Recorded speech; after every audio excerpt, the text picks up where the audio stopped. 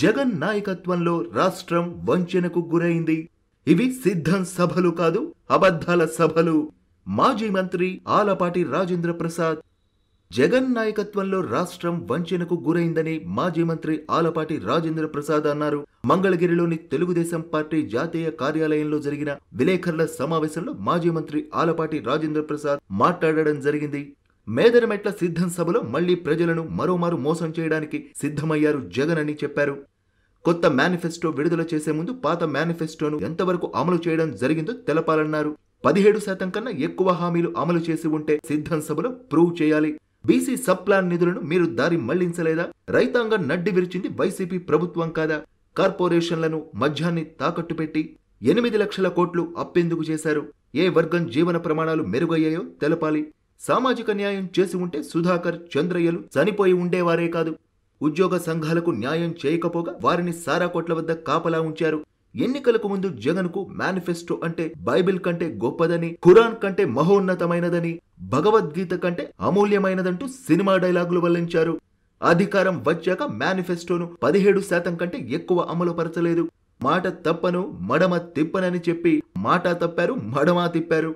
నేనొస్తున్నా నేను చూస్తున్నా అన్న జగన్ అధికారంలోకి వచ్చి ఏం చేశారో తెలపాలి.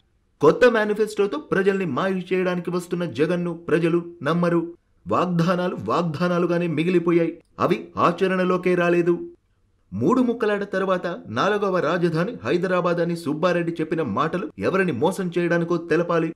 ప్రజల జీవనాడి అయిన పోలవరం ప్రాజెక్ట్ డయాఫ్రమ్ వాళ్ళు నాశనం చేశారు. రివర్స్ టెండర్ ద్వారా ఏం సాధించారు? ఈ విషయాలన్నీ ప్రజలకు చెబితే జగన్ తల వెయ్యి ముక్కలవుతుందని శాపమేదైనా ఉందా? జగన్ ఒట్టి అబద్ధాల పుట్ట.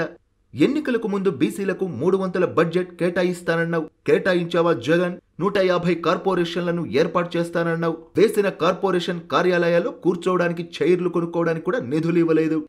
ఇది నీ అసమర్థ పాలన కదా జగన్.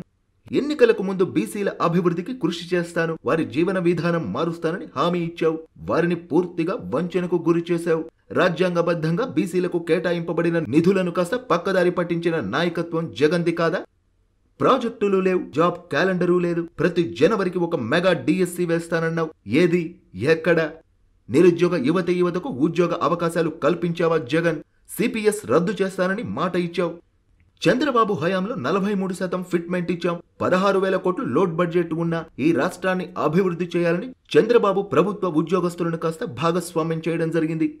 జగన్ ఏ ఉద్యోగ సంఘానికి న్యాయం చేశావో చెప్పాలి. విద్యా విధానాన్ని సర్వనాశనం చేశావు. ఇక పేదలకు సెంటు స్థలం ఇస్తారని చెప్పి నలభై నాలుగు గజాలు మాత్రమే ఇచ్చి మోసం చేశావు. జగన్ ఇచ్చిన స్థలాల్లో ఇళ్ళ నిర్మాణాల కోసం అప్పులు తీసుకుని పేదలు అప్పుల పాలయ్యారు. ఐదు నుండి పది రూపాయల వడ్డీతో అప్పులు తెచ్చుకొని ఇళ్ళు కట్టుకోవడానికి ప్రయత్నిస్తే కట్టుకోలేక సర్వం నష్టపోవడం జరిగింది. ఎన్నిళ్ళు పూర్తయ్యాయో చెప్పాలి.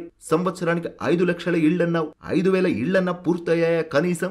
మీ ఎన్నికల మేనిఫెస్టోలో మీరు చెప్పిన ఏ ఆధారంగా పూర్తయిందో చెప్పగలిగిన శక్తి సమర్థత మీకు లేవు. ప్రభుత్వానికి గాని మీ నాయకులకు గాని మేనిఫెస్టోపై మాట్లాడే దమ్ము లేదు. కింది స్థాయి నుంచి పై స్థాయి వరకు రేపు జరిగే సభలో మేము అడిగే ప్రశ్నలకు సమాధానం చెప్పగలరా అని టీడీపీ తరపున డిమాండ్ చేస్తున్నాం. తల్లి చెల్లికి అన్యాయం చేశావు. బాబాయ్ హత్య కేసులో అవినాష్ రెడ్డిని కాపాడుకున్న రోజు నుంచే జగన్ పతనం కాస్త ప్రారంభమైంది. సునీతారెడ్డి వేసిన ప్రశ్నలకు సమాధానం చెప్పగలవా జగన్ రెడ్డి? సమాధానం చెప్పలేనప్పుడు రాష్ట్రాన్ని పరిపాలించే హక్కు నీకు లేదు. తప్పుకుంటే సంతోషం లేకుంటే తల్లి చెల్లెళ్ళకు న్యాయం చేయలేని సీఎంగా చరిత్రహీనుడిగా నిలిచిపోతామని జగన్మోహన్ రెడ్డిని ఉద్దేశించి మాజీ మంత్రి ఆలపాటి రాజేంద్ర ప్రసాద్ తెలిపారు.